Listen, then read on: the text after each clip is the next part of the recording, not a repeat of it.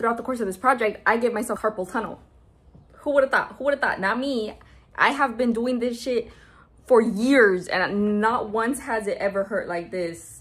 I'm not even joking. This is what I get for coding and then going directly into gaming, which meant that I was on the computer for like 10 hours a day. So was it my fault?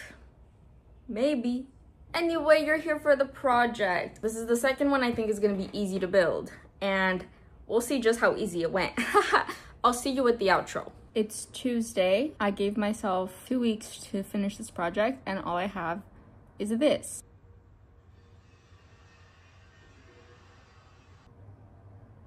So we're gonna lock in, I think. I don't know, man. Can I finish this in four days? Did y'all hear that firework? That kind of felt like a sign. First locked in task, finish the nav. Because believe it or not, at this point in time, I had already been working on this project for a week and I still hadn't finished the freaking nav. I was still on the drop down menu and I just couldn't figure out how to make it do a smooth drop down. Eventually, I got it all sorted out and then I started working on the footer. But once I was working on the footer, I tried to expand the nav. The footer and the nav would go down together instead of the nav covering the footer as it opened up. And I was like, that's not how it's supposed to work. So I had to figure out how to fix that. And then at some point in between doing all that, I broke the nav. So I had to refix the nav again. Now you may be thinking, oh my God, you're making such great progress for day one. And I would be like, yeah, you know what? I am. But guess what? My first Pitfall, the freaking hero. In this case, I just had such a hard time placing everything with grid. And to make matters worse, I had a rotated element, right? And I had to place this rotated element in a grid. And so every time I would write which row and which column this element belonged in, it wasn't working. It was so bad, I genuinely had to give up for the day. Like, I couldn't figure out how to place it. 11:50 p.m. I'm working on the hero, the first of many components to have a grid layout. Me and grid used to be like this. So what the hell is going on? Because why can't why can't I put the things all you need to do is write down where to put the things. And it'll put the things there for you. Like it's not that hard. Like I even on my Figma design, I have a grid system. And so why isn't it doing that? Welcome back. It's Wednesday night. It is about to be 10 p.m. and I'm about to clock in to the React company, to the... Can I start over? I didn't even finish what I wanted to finish last night. So add that to the list of chores I have to do today. I don't know. It's not looking too good. I'm a little nervous. I'm not even gonna lie. One hour in update. I'm still on the hero. Does it look like the life has left my eyes? Because I'm getting there. Round two with the hero. Here we go. This time around, I was able to place everything the way I wanted to place it, which was great because that means that I was able to do all sizes of windows, mobile to desktop. Amazing. Then I said, okay, let's not work on the main content. Let me skip to near the end where I'm working on the Q&A section. This isn't going to be so hard. I've seen Q&A sections. I've looked at accordion menus before. This looks really easy. I feel like it's very intuitive. I feel like I can do it. Wrong. In theory, if you've never done an accordion menu, you would think it's easy, but it's not. Eventually, I did figure out how to do the Q&A section, but I'm going to let real me tell y'all how that went because it was a moment. Welcome back. It's Thursday. It's 11:22. I'm going to take a little 8-minute break cuz I've been working. I've been working, guys. I've been working. Um, you can't really tell though. Here's here's why it took so long though. You look at it and you're like, "Oh, that's easy." It's just a Q&A section. It's literally just text. What's so difficult about it? This is what's difficult about it if you've never done it before. How do you make it look like an accordion where you have the question and then you click on the question and it goes and then you get the answer and then you close the question and it goes back to this. How do you do that? Hmm? Hmm? You ever think about that? No. Honestly, it wasn't even that hard. I'm just, I don't have a lot of practice with transitions and transformations so that's why it was really difficult for me. Second thing i had to do i have these cute little stickers that i have on the website that it's just there for decoration. But the thing is it follows the q&a and so if it expands the point is the stickers stick to the same place but it's also like moving. And you might be like girl just put them on the page. Yeah i tried that. I opened up a question, so it went like this, and so the whole thing expanded, and my stickers, they went like this, instead of going like this. So then I said, oh, y'all hate me so bad. And you would think, oh, just use position sticky. I would be like, yeah, you're right. And then I would be like, no, you're wrong because I did try that. And it just, it stuck to, to the browser. And I said, no, that's not it. That's not it. And so then you would say, oh, just use parent, relative, child, absolute. And I said, yes, yes, that makes sense. You're making sense. And so I did that. And I said, wow, wow. My browser was like this. And I said, wow, this, this works so good. I opened it up and I said, wow, wow, it's sticking. It's, it's actually working. And then I said, let me open the, questions. Phew. It didn't work. Um, but I was halfway there. And so all I had to figure out was how to track the, the height of the element.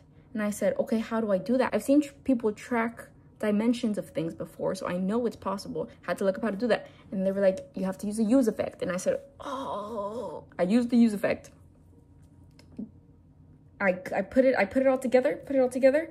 And I said, please, please, please. Here, here are the stickers. This is the, the thing, right? This is eh, expanding. Opened a question. It works. It works. So I hope that when you see me showcase this at the end of the video, you appreciate how much work I put into this specific part only.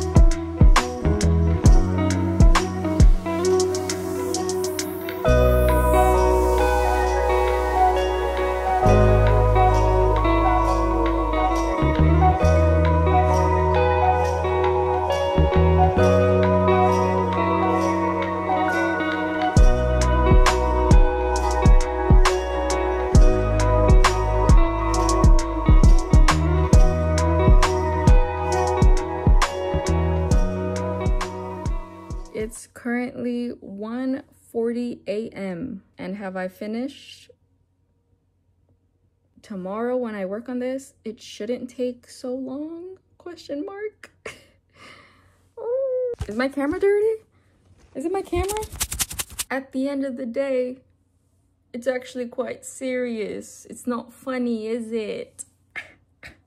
Who told me I could do this? Who told me I could code the main portion of my site in a day? Best case scenario. Best, what? Best case scenario. Best case scenario. Best case scenario. I don't know why I couldn't say that. I cannot spend another week on this. I have to finish this before Wednesday. That's my deadline. If I don't finish it by Wednesday, then I have to like kill. Hey guys, it's Wednesday. I still need to put in the Google Maps and I need to route everything with React Router. Hey, it's Thursday. yeah, who would have thought this project is actually gonna take three weeks? And you might be thinking, girl, what happened to the update you said you were gonna do on the maps? Don't even talk to me about that right now. It went so bad, I, I couldn't even film anything. It was so bad. I stayed awake until 3 a.m. trying to solve this. And to make matters worse, I was gonna watch a volleyball game at 5.30 a.m. So I said, oh, I'm gonna fall asleep early. I'm gonna get this map done early and then I'm gonna fall asleep early and then I'm gonna have enough time to wake up. I fell asleep at three, two hour nap, watched the game. Game went horribly, by the way. So I fell back asleep during the second set because I said, I'm not watching this, I can't. Here was the situation. Put the map on the website. That part was easy. Second step, put a marker on the map, which is where I failed the first time I attempted this. Figured it out. You needed a map ID. Who knew you needed two different types of keys this time around? Figured it out. I put markers on the map, multiple markers, dare I say it. Third step, when you click on a marker, it should give you a little pop-up window, you know, where it's like, this is this place, blah, blah, blah, blah, blah, and then there's like a link or whatever. I couldn't figure out the info window for the life of me. That was like, I had everything done. I just, I couldn't make info windows. And that's like the most important part because why would I have a bunch of markers on a map if you can't even click on the marker? So it pissed me off. I couldn't figure it out. And the way you're supposed to do it is you have a reference and you link that reference to the info window. After like an hour of trying without the first reference and now using just a reference for the info window, I straight up Googled, I said, can you do this with multiple markers? And Google straight up said, we're still working on that. You actually can't use a reference for multiple markers. And I said, you're joking. I said, wow, let me put my ass to bed me again with the final coding update. At this point in time, I was done with the whole thing. Everything was over. And then I remembered, oh my god, how are you supposed to get to the top if you're at the bottom? It's not like I have a home button, a home link, dare I say. How the heck am I going to do that? And then I remembered, oh my god, there's that little thing that some websites have that have a scroll to top. And I said, oh my god, I have to figure out how to do that. And surprisingly, it was one of the more easier things I figured out how to do. I did have to go on Google and Stack Overflow and be like, how do y'all do this? But I figured it out. And that's all that really matters at the end of the day. It's Friday. It's actually Saturday, technically. Earlier, I did a test deploy. Guess what? My images were too big. I thought that if you just added SVG images, they would be compressed enough so that I wouldn't have an issue loading them into my website. Apparently that's not true. So then I said, oh, okay, my mistake. I had to reconvert all of my images. that took a good hour and a half. Let's see how far I can get before I decide to give up for the day. So.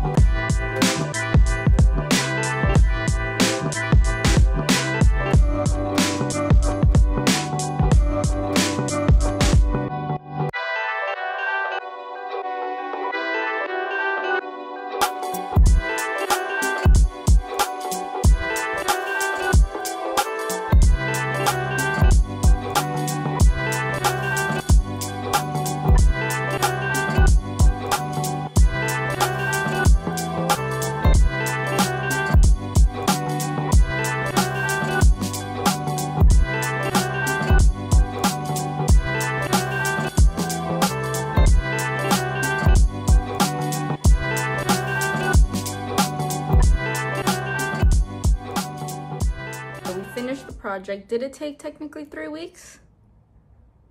Um, yeah. Common pitfalls. It took a lot longer than I thought it would. I still can't do everything I think I can do. I hate the Google Maps API. I didn't have as many issues as my first project because I have a bit more feel of how everything works now. I think that's it for this project. Very happy with it. The next video will probably be a design video and then I'll have another project finished, hopefully.